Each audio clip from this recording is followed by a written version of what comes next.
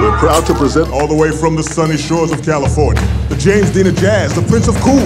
And he's here playing a double bill with our very own Miles Davis and Dizzy Gillespie. Making his Birdland debut, Chet Baker and his quartet.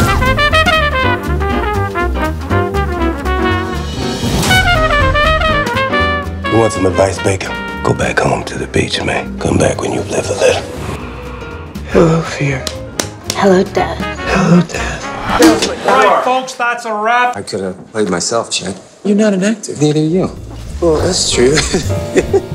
Don't tell anyone. Why don't you come back with me to my place and we can sing? Good idea. How about you? You forget where you always chat. No more jazz, junkie.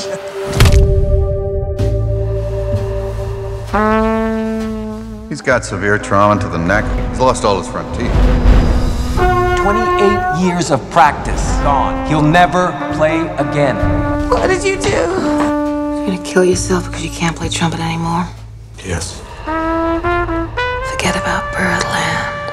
All you need now is some time. And you?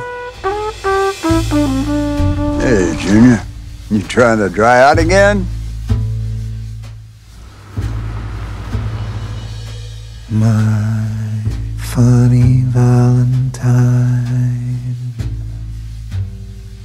Sweet comic Valentine. Stay. You come a long way, but uh, what? It's not your playing that I'm worried about. Miles said come back once you lived a little. I lived a little. I want to play.